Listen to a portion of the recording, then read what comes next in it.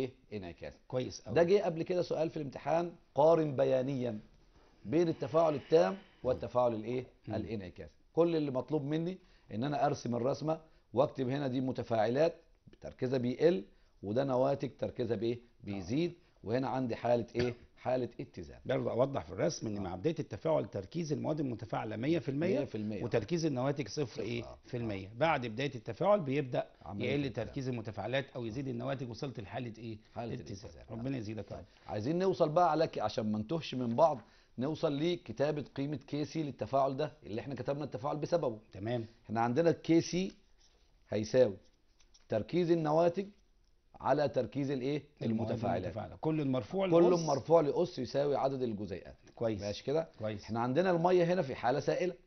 كتب لي تحتيها هنا إيه؟ الحالة الفيزيائية liquid يبقى ده مش هيتكتب.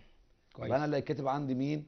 تركيز إستر أسيتات إيثايل سي إتش 3 سي أو أو. سي 2 إتش 5 كويس. على تركيز فوز حمض تركيز. الأسيتيك سي إتش 3 سي أو أو إتش. مرفوع لأس واحد. في تركيز الكحول الإيثيلي C 2 H 5 OH يبقى ده ثابت الإيه؟ آه. ثابت هنا الاتزان. ما كتبناش يبقى المية إحنا هنا ما كتبناش المية. آه ليه بقى؟ لأن تركيزه ثابت لا يختلف. آه مهما زادت الكمية أو قلت الكمية. يعني مهما اختلفت كميتها. في حاجة عايز أقولها صغيرة يا أستاذ اتفضل يا رمضان أستاذنا. أنا لو قريت معدل التفاعل الكيميائي هرتاح في الجزئية دي. هو تعريف معدل التفاعل الكيميائي. مقدار التغير في تركيز المتفاعلات في وحدة الزمن. تمام. طب أنا عندي التركيز ما بيتغيرش يبقى ما اكتبوش. أنت أنت واخد بالك من الحتة. دي؟ آه لا كده ماشي صح كده؟ بنفسرها تمام. آه. كده ده أثر التركيز. آه. وشفنا الإثبات قبل كده لقانون فعل الكتلة. قانون فعل الكتلة اللي عمله اثنين علماء جولدبرج وفاج اللي هو بيثبت قيمة ال Kc. طيب لو شفنا مسألة مسألة مثلا على حساب ال Kc أكتب ال Kc وأحسب قيمة ال Kc واوضح التعليق المناسب لقيمة ال Kc بينشط التفاعل في اتجاه طردي ولا اتجاه إيه؟ عكسي المسألة اللي موجودة معانا في كتابنا H2 زائد ال I 2 بيكون معانا في التفاعل الانعكاسي 2 HI يقول لي احسب قيمة ثابت الاتزان لهذا التفاعل إذا علمت إن تركيز الهيدروجين بيساوي 221 من الألف مول لكل لتر وتركيز اليود بيساوي 221 من الألف مول لكل لتر. وتركيز يوديد الهيدروجين تقريبا بواحد علامة تلاتة خمسة ستة أو ستة خمسة تلاتة مش هتفرق. المهم إن إحنا الأرقام موجودة معانا هنقدر نحسبها حساب Kc يبقى المطلوب مني هنا في المسألة عاوز أحسب قيمة ال Kc دي أول مطلوب. تاني مطلوب عاوز أعرف آه، آه، التعليق المناسب لقيمة ال Kc هينشط التفاعل في الاتجاه الطردي ولا الاتجاه الايه العكسي. وخلي بالك وانت بتحل المسألة لازم بكتب قانون ولازم بكتب تمييز. طب أنا ال Kc دي دي نسبة ما بين تركيز وايه؟ وتركيز. التركيز مول لكل لتر والتركيز التاني في البسط والمقام عندي مول لكل لتر يبقى ال Kc ملهاش إيه؟ ملهاش تمييز. معانا. اتفضل يا أستاذ. طيب يبقى أنا عشان أكتب الأول أكتب إن Kc بيساوي تركيز النواتج على تركيز الإيه؟ المتفاعلات.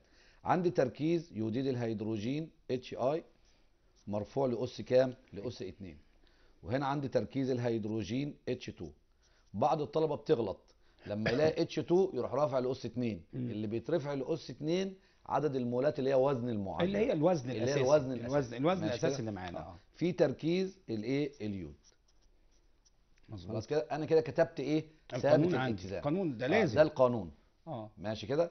طيب، أنا عايز أحسب قيمة ال Kc يبقى أنا عندي قيمة ال Kc هيساوي يوديد الهيدروجين 1356 من 1000 كل تربيع لأن هو مرفوع لاس إيه؟ 2 على 221 من 1000 في 221 من إيه؟ من 1000 هيطلع يبقى هيساوي كام؟ تقريبا 50 تقريبا 50 50 إن شاء طبعا ما فيش تمييز هنا. آه، ال K ما C ملوش آه. إيه؟ تمييز. طب أنا عندي ال Kc طلعت ب 50 آه. أو قريبة جدا من ال 50 المهم إن هي أكبر. أكبر من الواحد صحيح. يبقى بينشط في التفاعل الاتجاه الطردي يبقى أنا لو جات لي مسألة في الامتحان أول حاجة أنا بكتب المعادلة قدامي.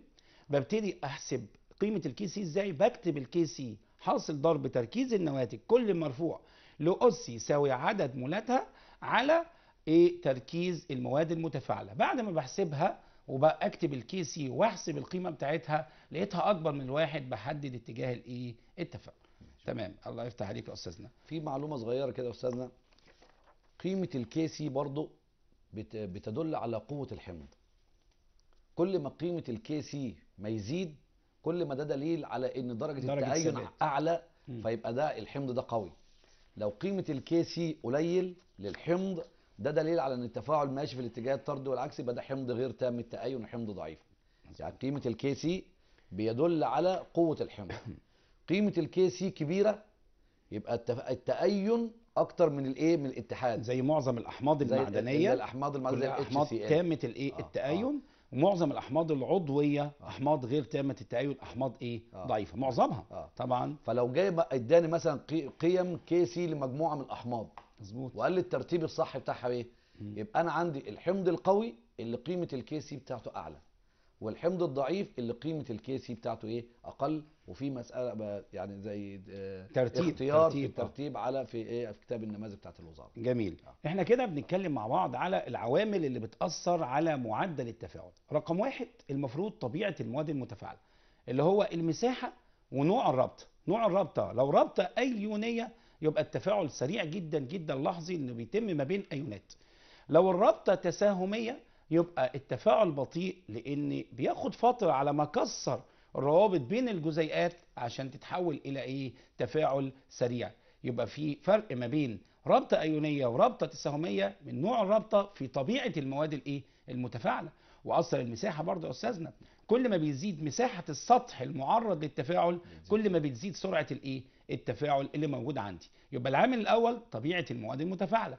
العامل الثاني زي ما وضح أستاذنا أثر التركيز. العامل الثالث بقى تعالوا نتعرف عليه أثر درجة الحرارة. درجة الحرارة أكيد بتأثر على معدل التفاعل الكيميائي. شوف أستاذنا وضح لنا إزاي. إحنا عندنا درجة الحرارة بيأثر لو الم... لو التفاعل بتاعي تام. لو تمام. التفاعل بتاعي إيه؟ تام. يعني غير انعكاسي. غير انعكاس زيادة درجة الحرارة بيزيد من عدد الجزيئات المنشطة ذات السرعات العالية. جميل. اللي عندها قدرة على كسر الروابط عند التصادم. أنا ممكن جزيء وهو بيتحرك يصطدم مع جزيء آخر بس التع... مفيش مفيش تفاعل. ليه؟ لأن السرعة بتاعته قليلة. الجزيئات بتعمل إيه لما أنا برفع درجة الحرارة؟ بتاخد الطاقة الحرارية وبتحولها إلى طاقة حركية بحيث إن لما بتيجي تصطدم مع بعض الرابطة بإيه؟ بتنكسر. يبقى لو التفاعل تام زيادة أو رفع درجة الحرارة بيزيد من عدد الجزيئات المنشطة ذات السرعات العالية التي لها القدرة على كسر الروابط عند التصادم ده بيزود الطاقة- طاقة الحركة. آه الطاقة الحرارية اللي بيحول لي الجزيء العادي الكسلان ده إلى جزيء منشط بنسميه طاقة التنشيط. مظبوط. إيه هو طاقة التنشيط؟ الحد الأدنى من الطاقة التي يجب أن يمتلكها الجزيء لكي يتفاعل عند التصادم. آه، حتة الحد الأدنى دي آه. عاوزين نركز عليها آه، كويس الحد الأدنى من الطاقة آه. التي يجب أن يمتلكها الجزيء لكي يتفاعل عند الإيه التصادم. أنا هدي مثال بسيط كده من الإيه من من الحياة اللي إحنا عايشينها. اتفضل في بعض الأماكن مثلا يقول لك إحنا عندنا minimum charge. ماشي كده؟ قال لك مثلا ال minimum charge خلينا في الإيه في 30 جنيه مثلا. طب أنا معايا مش معايا 30 جنيه معايا 29 يبقى أنا مش هخش المكان أصلا. مم. يبقى لازم يكون معايا الحد الأدنى عشان أشترك في الإيه في التفاعل عشان يبدأ التفاعل عشان تبدأ. التفاعل الكيميائي مظبوط ده تعريف طاقة التنشيط برضو في نقطة هنا مهمة جدا يا جماعة اللي هي إيه؟ إن هي طاقة التنشيط عندي الحد الأدنى من الطاقة اللي بيزود سرعة التفاعل. أنا عندي لما نيجي نتكلم على أثر العامل الحفاز. العامل الحفاز المفروض بيرفع طاقة التنشيط ولا بيقلل طاقة التنشيط عشان أزود سرعة التفاعل؟ الحتة دي مفهومها صعب شوية على بعض الطلبة. هو العامل الحفاز هنا بيدخل في التفاعل عشان يقلل التوص- التنشيط عشان أوصل لقيمة الحد الأدنى. وصلت قيمة الحد الأدنى من طاقة التنشيط اللي بيحصل هنا بيزود سرعة الإيه؟ التفاعل. يبقى أنا هحط هنا عامل حفاز لما نتكلم عليه دلوقتي طبعا كل ال- الحياة بتاعتنا دلوقتي محتاجة عوامل حفازة. عامل الحفاز بيخش بيزود سرعة التفاعل. لو حبينا نتكلم عليه دلوقتي الحفاز هو مادة قليلة. أنا عاوز مادة قليلة عشان أنشط سرعة التفاعل. عامل حفاز في جسمنا في عوامل حفاز اللي هي الأنزيمات الأنزيمات بتاعتنا اللي هي جزيئات من البروتين اللي موجودة اللي بتقوم ببعض العمليات الإيه؟ الحيوية. بعض المصانع بتحط عوامل حفازة تفاعل زي تحضير النيتروجين والهيدروجين بيكون نشادر. المفروض يتم التفاعل هنا عند درجة كام؟ 3000 درجة مئوية. لكن لما جه هابر أو هابر هنا حضر النشادر خلى الحرارة عند كام؟ 500 500 درجة. لأن حط عوامل حفازه حديد ومولبيدانيوم عشان يزود سرعة الإيه؟ التفاعل. فالعامل الحفاز عشان يزود سرعة التفاعل لازم يقلل من قيمة طاقة التنشيط عشان أوصل للحد الإيه؟ الأدنى. إحنا بنتكلم دلوقتي على عامل مهم اللي هو أثر درجة الحرارة. درجة الحرارة أهم نقطة تعريف فيه اللي هي اسمها طاقة الإيه؟ التنشيط. يعني إيه طاقة التنشيط يا أستاذ سامي تاني؟ الحد الأدنى من الطاقة التي يجب أن يمتلكها الجزيء لكي يتفاعل عند الإيه؟ التصادم. تمام. الجزيء المنشط ده اللي هو بيمتلك طاقة التنشيط. حلو. بيمتلك طاقة الإيه؟ التنشيط. ده لما يكون التفاعل بتاعه تفاعل تام. مظبوط. طب لو التفاعل انعكاسي آه قال عندك لك في التفاعل الانعكاسي لازم الأول تعرف نوع التفاعل بتاعك. هل هو تفاعل طارد للحرارة ولا تفاعل ماص للحرارة؟ جميل. يبقى أنا طب أنا هعرف إزاي إن التفاعل طارد للحرارة؟ آه. لما يديني قيمة delta H في المسألة بتاعتي قيمة سالبة يبقى تفاعل طارد للحرارة. delta H اللي هو التغير اللي في المحتوى التغير في الحراري. المح- آه، التغير في المحتوى الحراري. تمام. لما يداني قيمة سالبة يبقى التفاعل ده طارد للإيه؟ للحرارة.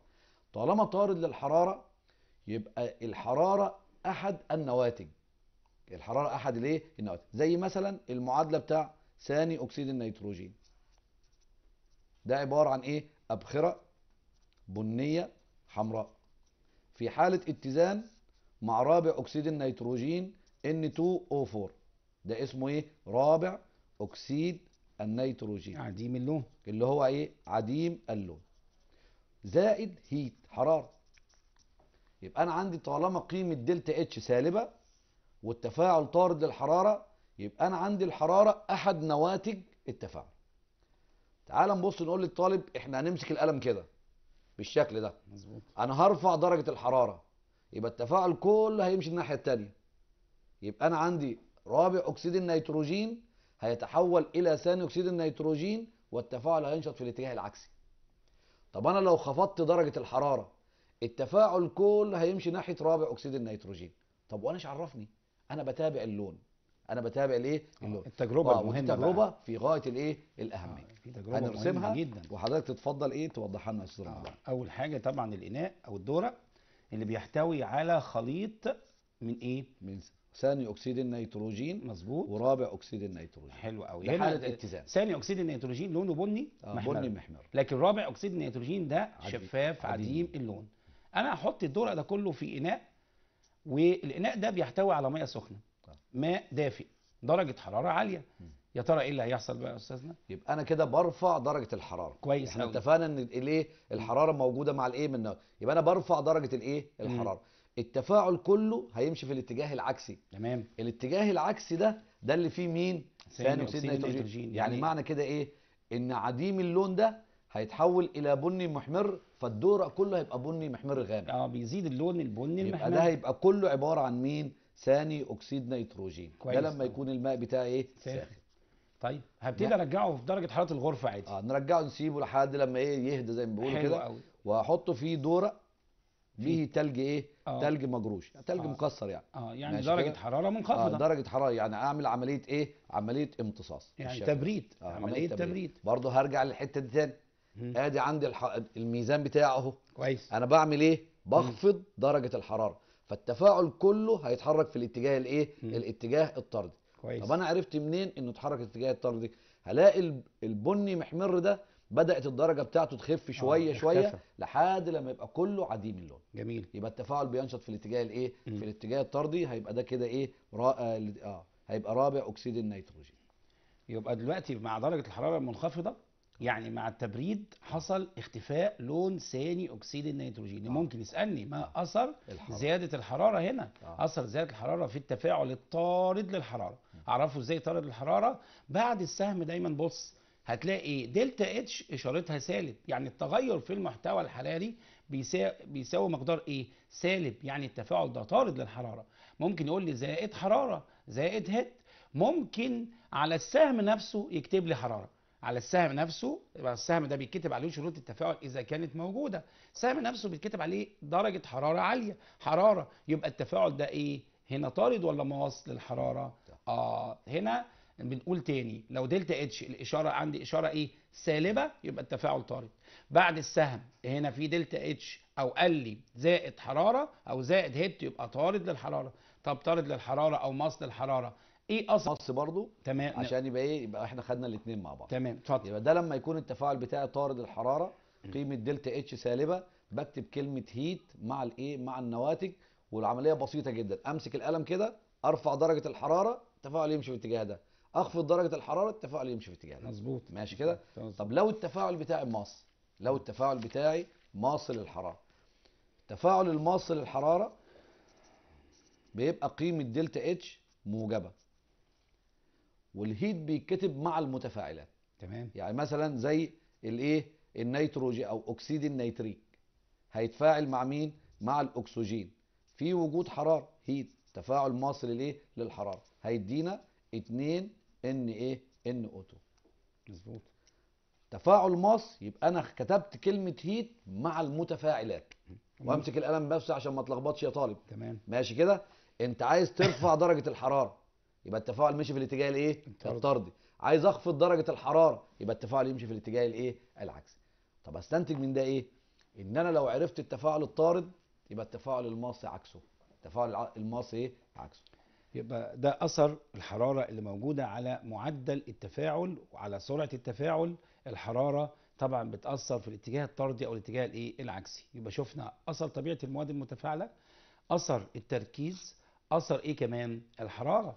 خش كمان على أثر الضغط عشان في قاعدة مهمة جدا عملها عالم اسمه لو شاتليه لازم نتكلم عليه النهارده لأن الباب دوة عليه درجات مهمة جدا في الامتحان وخصوصا قاعدة لو شاتليه قاعدة لو شاتليه بتاعت أثر الضغط وأثر الحرارة وأثر التركيز. أنا بقول إن في عوامل بتأثر على معدل التفاعل. عاوز أقولهم الستة تاني. قولوهم معايا. يلا. أول حاجة أثر إيه؟ طبيعة المواد المتفاعلة. وأثر التركيز كمان العامل الحفاز كمان الضغط كمان إيه؟ أثر إيه؟ هم؟ التركيز والضغط ودرجة الحرارة. تمام. والضوء. والضوء آه. الضوء ده مهم جدا. أنا سايبه للآخر. ليه؟ ده, ده الضوء ده من أهم العوامل اللي بتأثر على بعض أنواع التفاعلات وأهم تفاعل عندي اللي هو البناء الإيه؟ الضوئي. الضوئي. أثر الضوء على تفاعل البناء الضوئي. على أفلام التصوير زي ما هنشوفها ونوضحها دلوقتي. تعالوا نتكلم مع بعض على أثر الضغط. يا ترى أثر الضغط بيتكلم على إيه؟ على الغاز ولا الصلب ولا السائل؟ اثر الضغط على التفاعلات الغازية اللي هنا بتغير الحجم. وحط في دماغك كده إن لو الحجم زاد الحجم زاد يبقى الضغط إيه؟ قل. لو الحجم قل يبقى الضغط إيه؟ زاد. لو أنت حاولت تأثر بالضغط على حجم مادة والحجم ده ما اتغيرش يبقى الضغط ما. يأثرش. ده أنا بقولها بمثال صغير قوي. لو أنا معايا قطعة سفنج سفنجة هدوس عليها هضغط عليها. سفنجه مش غاز يا أستاذ أنا عارف. السفنجة بضغط عليها. زودت الضغط. إيه اللي حصل للحجم جوه؟ بدأ يقل. طب ما تقلل الضغط. الحجم بدأ إيه؟ بدأ يزيد. خد حتة زلطة قطعة من الحديد ودوس عليها. ما غيرتش حجمها يبقى الضغط هنا ما إيه؟ ما اثرش يبقى لو الحجم ما اتغيرش الضغط ما ياثرش جميل جدا. طب نعرف الكلام ده إزاي؟ تعالوا نشوفه بالمعادلات مع أستاذنا الفاضل هيوضحه لنا.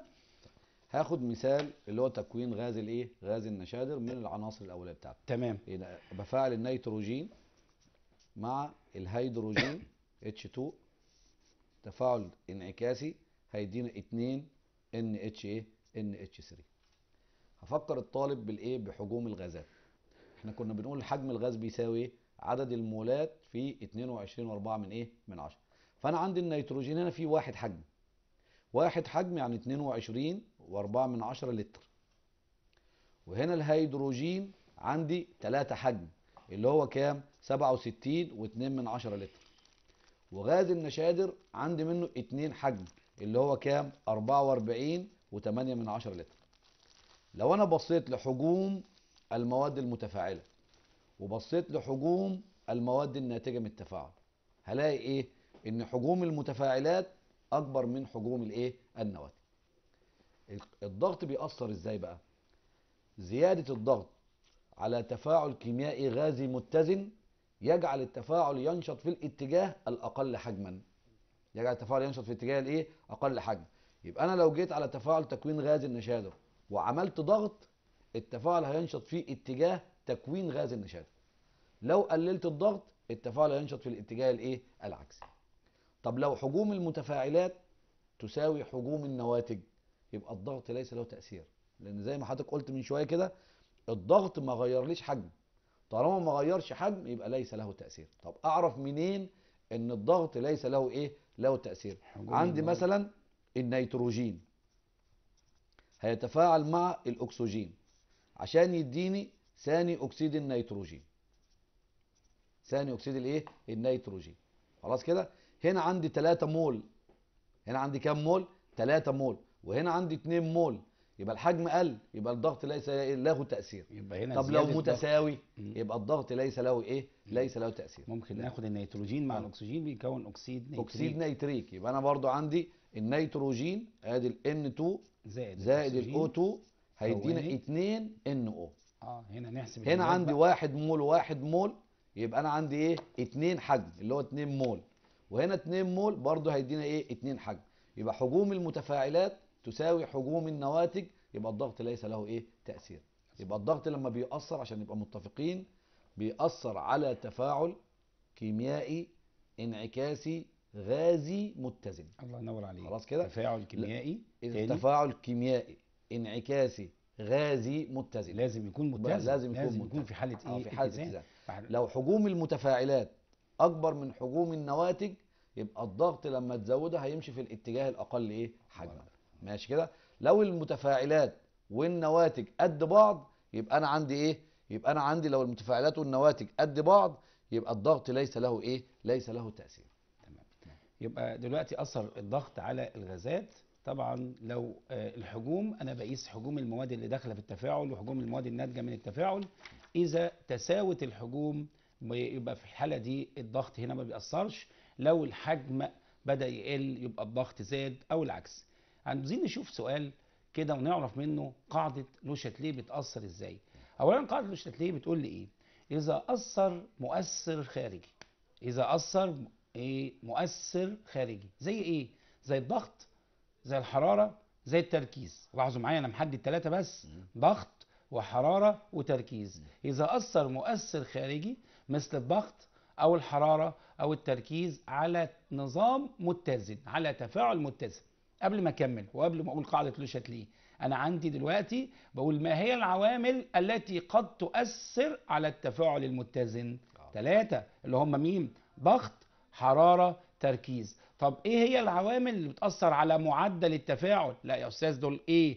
ضغط وحرارة وتركيز وضوء وعامل حفاز وطبيعة مواد إيه؟ متفاعلة. لكن لو التفاعل ده متزن يبقى بيأثر معانا ثلاثة يعني العامل الحفاز بيأثر على التفاعل المتزن ما بيأثرش على التفاعل الإيه؟ المتزن. لكن بيغير معدل الإيه يا جماعة؟ بيغير معدل التفاعل. أرجع تاني بالراحة وأقول قاعدة لو شاتليه تقول لي إيه؟ إذا أثر مؤثر خارجي على نظام في حالة اتزان مثل الضغط أو الحرارة أو التركيز فإن هذا التفاعل أو هذا النظام ينشط في الاتجاه اللي بيقلل أو يلغي هذا المؤثر. دي تعريف أو نص لقاعدة إيه؟ لوشاتيليه هنشوفها في سؤال كده وليكن سؤال تحضير غاز برضو إيه؟ النشادر أو في مسألة كده إيه؟ في كتاب المدرسة بتاعة الهيدروجين وأول أكسيد الكربون. خلينا في تكوين النشادر في الأول. ماشي okay. ونسأل كده أربع أسئلة عليه. النيتروجين نيتروجين مع 3 هيدروجين. كون معانا إيه؟ 2 NH3 و delta H للتفاعل ده إشارتها إشارة. تفاعل تفاعل طارد تفاعل ماص للحراره ده تفاعل طارد, طارد للحرارة هو. الأول بيمتص كمية من الحرارة. وبعدين آه. يطرد حراره دلتا آه، H. اشارتها إشارة إيه سالب. سالبة آه. يبقى نيتروجين مول واحد من النيتروجين زائد 3 مول من الهيدروجين كون 2 مول من النشادر و delta H إشارتها سالب ممكن التفاعل ده يجي لي في الامتحان ويطلب مني وضح تأثير كل من رقم واحد التركيز طب التركيز على إيه هناخد على النشادر أو النيتروجين ولا الهيدروجين رقم واحد التركيز على التفاعل ككل. اتنين الحرارة أثر الحرارة. رقم ثلاثة أثر الضغط. أربعة أثر العامل الحفاز. هنشوف أثر الأربع عوامل دول مع التفاعل على المعادلة اللي موجودة معانا اللي هي نيتروجين مع ثلاثة هيدروجين كون اتنين نشادر نمسك أول حاجة التركيز. كويس. هو مش محدد تركيز مين. ماشي كده؟ لو أنا قلت تركيز غاز الإيه؟ غاز النيتروجين ب... ب... ب... نظبط بس الورقة معلش. تمام. آه. لو أثر آه. إحنا بنقول إيه؟ زيادة التركيز في أحد طرفي المعادلة يجعل التفاعل ينشط في الاتجاه الإيه؟ الآخر. ماشي كده؟ طيب أنا لو جيت بصيت لو جه قال لي قول لي ترك... أثر زيادة تركيز غاز النيتروجين. كويس. يبقى أنا لما أزود تركيز غاز النيتروجين إحنا كده بنشرح التركيز بصفة عامة على المعادلة كلها. آه. لو أنا. زودت تركيز النيتروجين يبقى أنا بزود في المتفاعلات. كويس. يبقى التفاعل هينشط في الاتجاه الإيه؟ الطردي عشان يزود في النواتج لكي يظل الثابت ثابت تمام. ثابت الاتزان إحنا متزنين. مظبوط. ماشي كده؟ طب لو زودت تركيز الهيدروجين برضو التفاعل هينشط في الاتجاه الإيه؟ الطردي. طيب. طيب. لو أنا- زودت تركيز النشادر؟ وتر... لو زودت تركيز النشادر التفاعل هينشط في الاتجاه الإيه؟ العكسي. طيب. ممكن نسأل ونحدد سؤال محدد هنا. ما أثر زيادة تركيز النيتروجين على كمية تكوين الإيه؟ النشادر آه. يبقى أنا بزود تركيز مين؟ النيتروجين. النيتروجين في المواد الإيه؟ المتفاعلة. لما بزود تركيز المواد المتفاعلة هيزيد تركيز المواد الإيه؟ الناتجة. يبقى بيزداد تكوين غاز النشادر كويس. أثر إيه بعد كده؟ رفع أثر درجة الحرارة. الحرارة. آه. إحنا اتفقنا إن طالما قيمة delta H سالبة يبقى إحنا بنكتب كلمة هيت مع المتفاعلات. وقلت للطالب 100 مرة كده امسك القلم كده وهنرفع درجة الحرارة اللي موجودة ناحية الإيه؟ النواتج. تمام. ماشي كده؟ هرفع درجة الحرارة. التفاعل كله هيمشي في الاتجاه الإيه؟ العكسي. مظبوط. طب لو عملت خفض لدرجة الحرارة التفاعل كله هيمشي للاتجاه الإيه؟ الطردي. طب هو قال لي حرارة وسكت.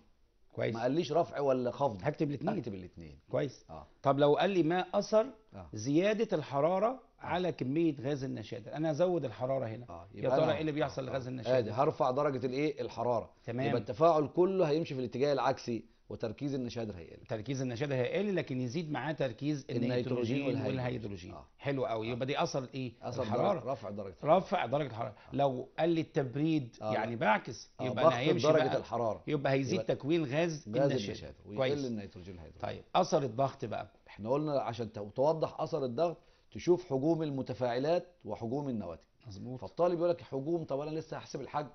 بص لعدد مولات المتفاعلات والنواتج كويس. اللي عدد مولاته أكبر يبقى حجمه أكبر واللي عدد مولاته أقل يبقى حجمه أقل. أنا عندي هنا واحد مول وثلاثة مول يبقى أنا عندي هنا كام؟ أربعة مول. مول. وهنا عندي اتنين إيه؟ مول. طب مين اللي حجمه أكبر؟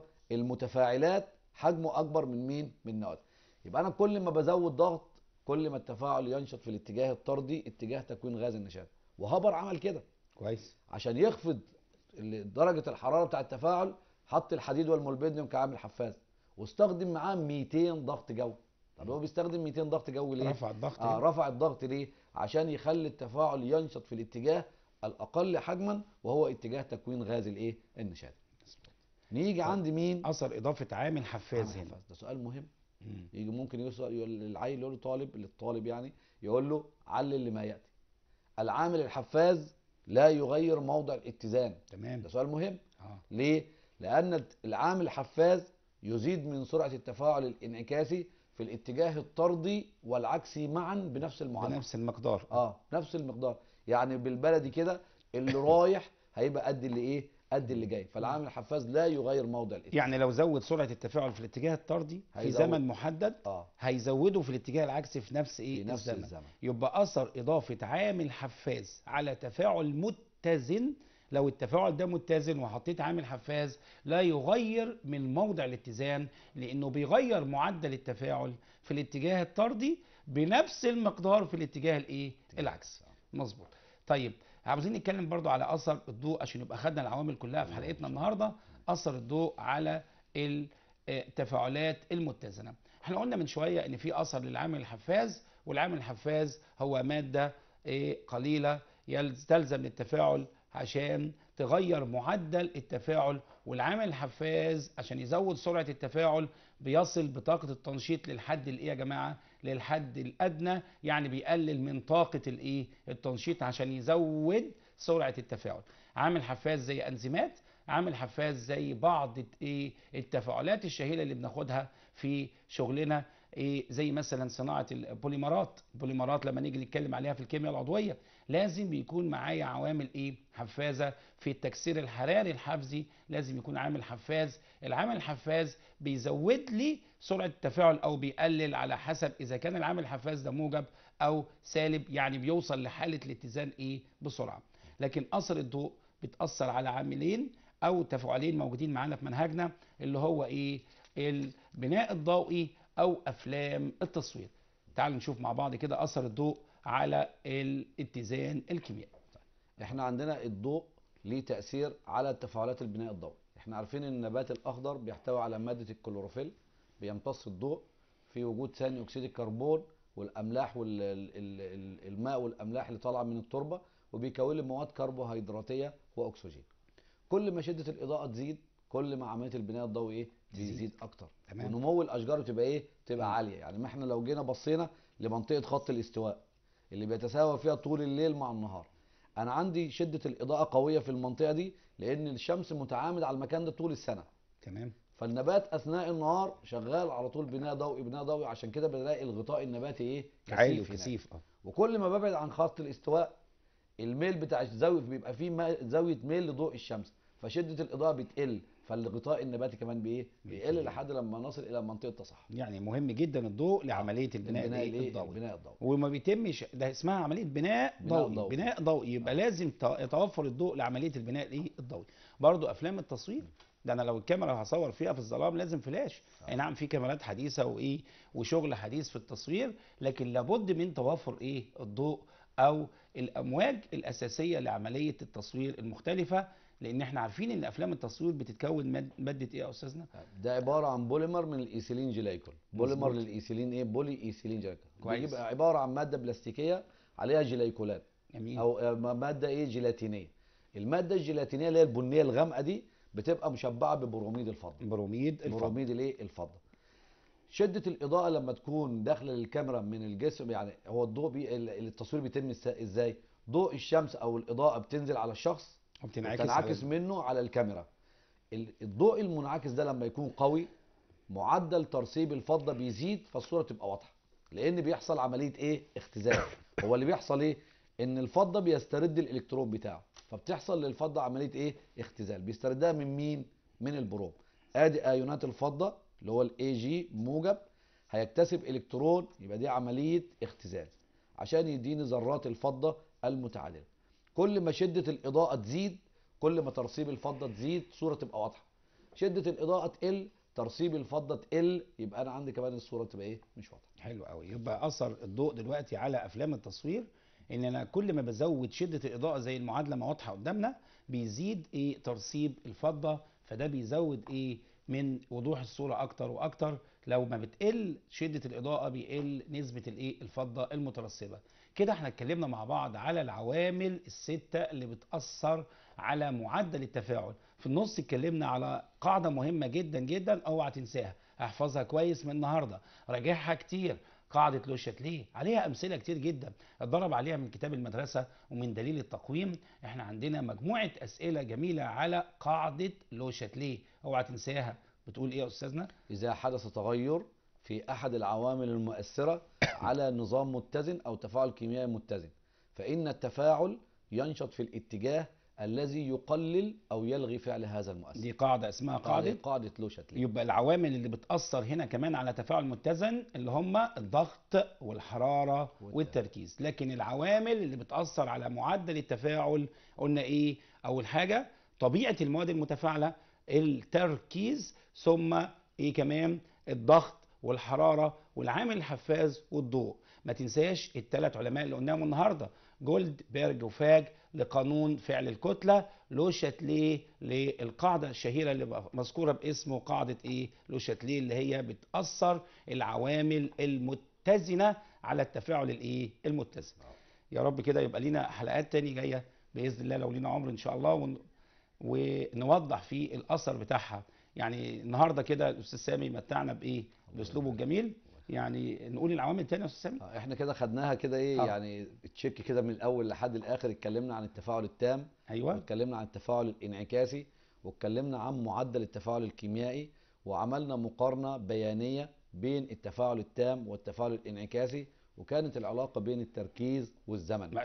لو جاب لي مقارنة في الامتحان وقال لي قارن بين التفاعل إيه التام وغير التام. آه. طبعا لازم أرسم المنحنى البياني قدامي آه. حتى لو ما طلبوش. آه. يبقى أنا بعرف تفاعل تام وتفاعل غير تام بدي أمثلة وفي نفس الوقت بوضح ده تفاعل تام ليه وده تفاعل غير تام ليه. بوضح إيه إن بيطلع غاز ولا بيكون راسب؟ هل الإناء مغلق ولا إناء إيه مفتوح؟ أوضح كمان الايه الرسم البياني ما بين التركيز وايه والزمن. التركيز والزمن. اتفضل.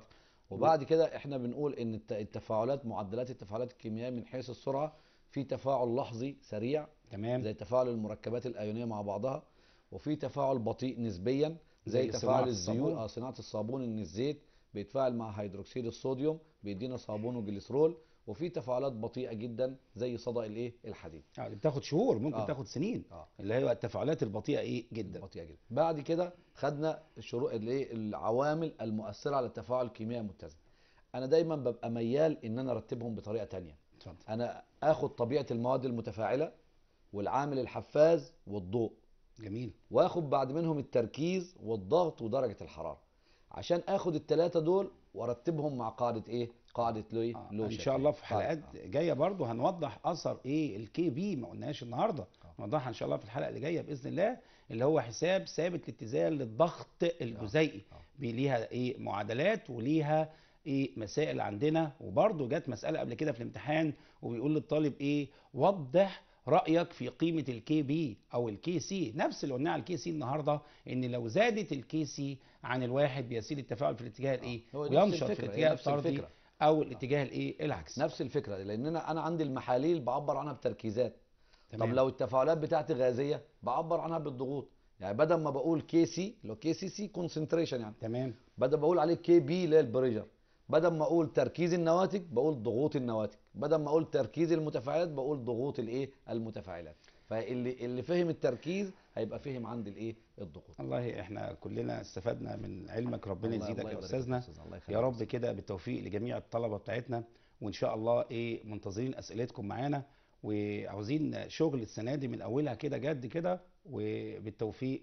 وإن شاء الله نشوفكم على خير في حلقات جاية بإذن الله. والسلام عليكم ورحمة الله وبركاته. عليكم السلام